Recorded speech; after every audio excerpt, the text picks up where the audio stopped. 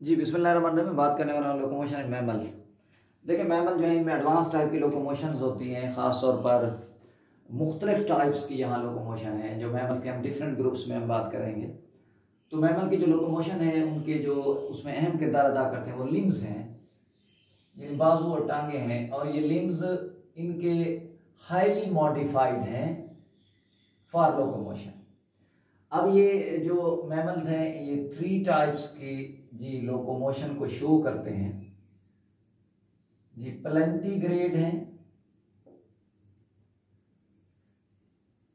डिजिटी grade हैं। और इंग्यूली grade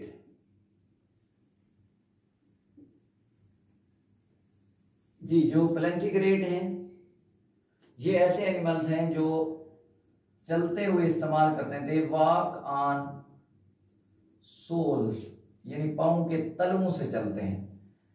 अब जब ये सोल्स को इस्तेमाल करेंगे तो उसके साथ साथ ये रिस्ट को, यानी कलाइयों को, डिजिट्स को, उंगलियों को, और इसी के साथ साथ पाम, यानी हथेली को भी इस्तेमाल करेंगे, कम या ज़्यादा।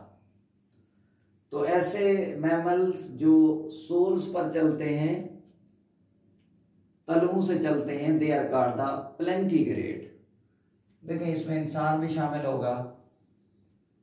मंकी है, बेयर है। अगर मैं डिजिटी ग्रेड की तरफ़ चला जाऊँ तो ये देखें, ये ऐसे मैमल्स हैं, which walk on only digits यानी ये चलते हुए उंगलियों को इस्तेमाल करेंगे। तो जहाँ ये चलते हैं तो इनके उंगलियों के निशान लगे पड़े होते हैं। इसलिए हम इन्हें डीजीटी ग्रेड कहते हैं। मिसाल के तौर पे मैं कैट के हवाले से बात करूँ, मैं लाइन के हवाले से बात करूँ, मैं चीते के हवाले से बात करूँ, या दूसरे जो आमतौर पर रूडेंट हैं कुतर कर खाने वाले मैमल्स हैं, चूहे वगैरह हैं। तो ये सारे डीजीटी ग्रेड्स हैं कि ये डिजिट्स पर चलते हैं।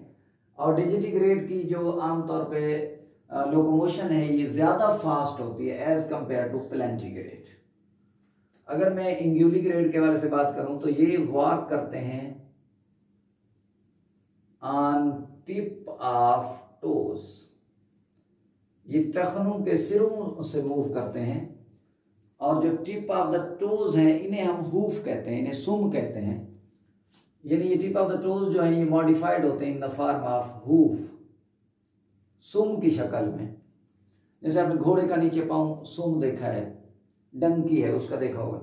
तो ये ऐसे मैमल जो सुम से चलते हैं, यानी टिप ऑफ़ द टोज के ज़रिए मूव करते हैं तो उन्हें इंग्यूली ग्रेड्स कहते हैं और इनकी जो लोकोमोशन है, ये ज़्यादा स्विफ्ट होती है as compared to other mammals अल्लाह हाफिज़।